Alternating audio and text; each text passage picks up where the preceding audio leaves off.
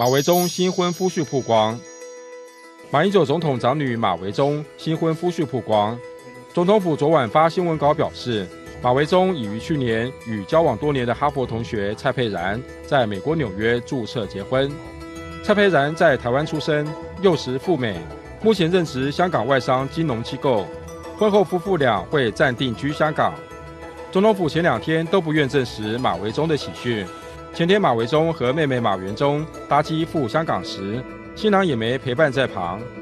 不过，苹果记者前天在机场目睹一名年轻男子走公务通道赴港，着在脸书搜寻，找到一名英文拼音与蔡佩然同名的男子，与机场目击对象非常相似，英文名字为 Alan，也是哈佛大学毕业。资料显示，他现年三十三岁，曾在德意志银行工作，并担任过模特儿。一为马维忠夫婿，不过对于蔡佩然的英文名字是否为 Allen，总统府表示不知情。动新闻综合报道。